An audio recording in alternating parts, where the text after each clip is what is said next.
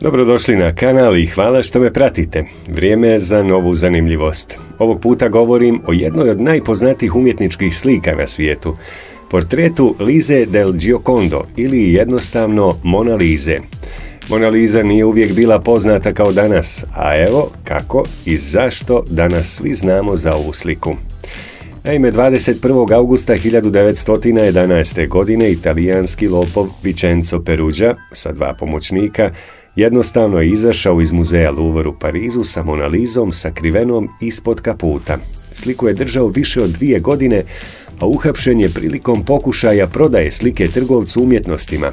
U krađi su učestvovala tri italijana. Dva brata, Vicenzo i Michel Lancelotti i vođa Vicenzo Perugia. Trojica mladih italijana došli su u Louvre dan prije i sakrili se u skladište u blizini galerije pune renesansnih slika. Sljedećeg jutra ušli su u galeriju i skinuli sliku sa zida.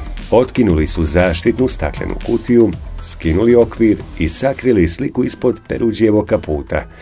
Zatim su jednostavno izašli na sporedni ulaz Luvra, tada najveće građevine svijeta sa više od hiljadu prostorija i čak 150 čuvara. 28 mjeseci nakon krađe Peruđa je odlučio da proda analizu trgovcu umjetnostima u Firenci. Međutim, trgovac je bio sumnjičav, pa je pozvao šefa italijanske umjetničke galerije da pogleda sliku. Pečat na poleđini potvrdio je njenu autentičnost. U redu, ostavi je kod nas, a mi ćemo se pobrinuti da dobiješ svoj novac, rekli su trgovac i njegov partner Peruđi. On je otišao kući i nakon pola sata umjesto novca stigla je policija na vrata. Slika je vraćena u Louvre, Peruđa je priznao krivicu i osuđen je na godinu i 15 dana zatvora. Kaznu koja je kasnije smanjena na 7 mjeseci i 9 dana. Nakon toga Mona Lisa je postala svjetski poznata slika.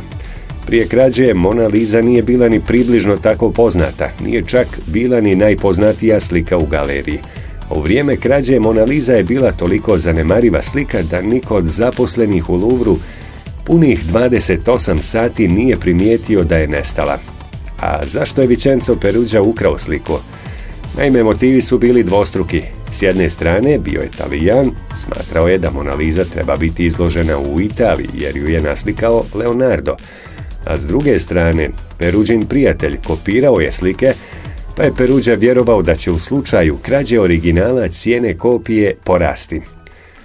Hvala na gledanju, nadam se da ste saznali nešto novo i da ćete nastaviti pratiti moj kanal. I naravno, preporučiti ga svojim prijateljima.